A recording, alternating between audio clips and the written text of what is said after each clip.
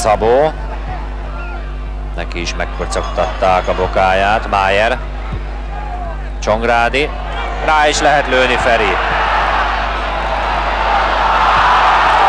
És ott van! Szabó tovább perdül a labda. Klucski rosszul megy érte, Szabó hozzáér, hozzáér még a kapus is. Már úgy nézett hogy nem lesz belőle helyzet, megszerzi a videóton a vezetést a 37. percben.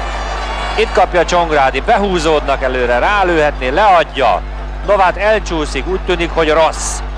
És aztán hibáznak a csehszlovák védők. Szabó utána megy. Megkotorja, fölperdül a labda, Stromsik leül. Belebalettozott még egyet, de ott a videóton vezető gólja. Szabó szemfülességét, harciasságát dicséri.